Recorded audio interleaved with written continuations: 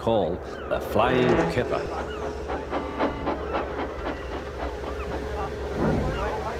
Henry was ready at five o'clock. There was snow and frost. Men hustled and shouted, loading the vans with crates of fish. The last door banged, the guard showed his green lamp. The Flying Kipper was ready to go.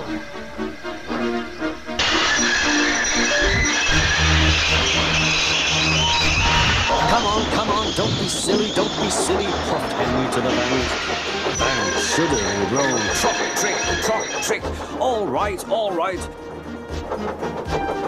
That is better, that is better, puffed Henry.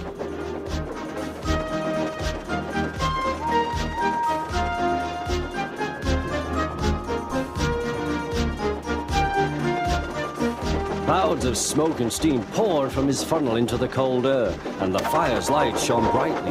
Hurry, hurry, hurry, panted Henry.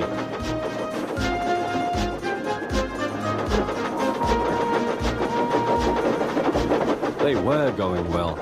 The light grew better. Signal light shone green as they passed. Then a yellow signal appeared ahead. His driver prepared to stop, but the home signal was down. All clear, Henry. Away we go.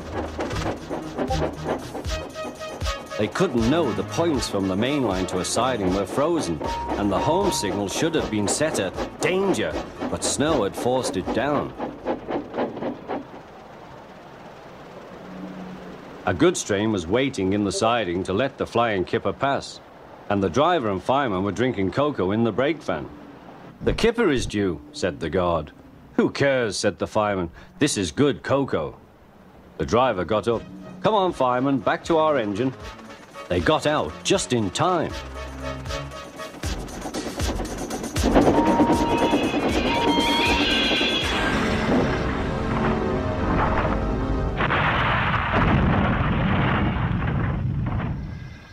Henry's driver and fireman had jumped clear before the crash, but Henry lay dazed and surprised.